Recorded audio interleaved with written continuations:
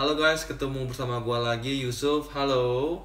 Nah, hari ini gua akan sama-sama unboxing dan review tentang DJI Mavic Aircraft Sleeve. Oke, kita langsung aja ke produknya. Ini apa sih? Ini sebenarnya cuma sarung buat DJI Mavic Pro kita. Oke, kita langsung buka aja langsung.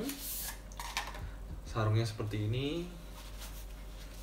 Terus ada logo DJI Mavic Nah, sarungnya seperti ini. Hmm, lumayan ringan ya, beratnya kurang lebih sekitar 10 gram kalau gue lihat di websitenya. Kita buka dalamnya, bahannya lumayan halus, seperti bulu-bulu kayak gitu ya. Jadi gue rasa kalau kita punya Mavic masukin ke dalam sarung ini seharusnya bakal sangat-sangat aman dan nyaman sepertinya. Oke, kita bakal mau coba masukin.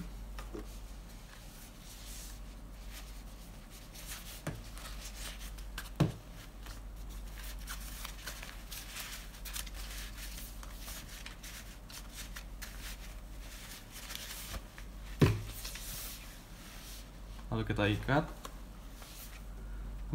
Lumayan simple dan bisa ngelindung kita punya Mavic.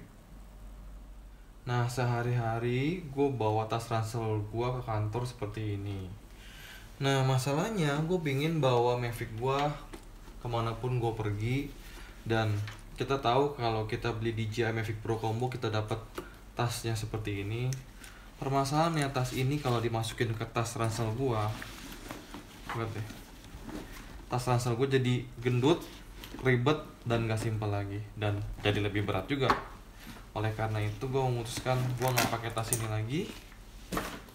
Dan gue memutuskan kalau gue beli DJI Mavic Aircraft Sleeve yang sangat simpel dan bisa melindungi gue punya Mavic. Dan tinggal masukin ke tas gue seperti ini. Masukin controller gue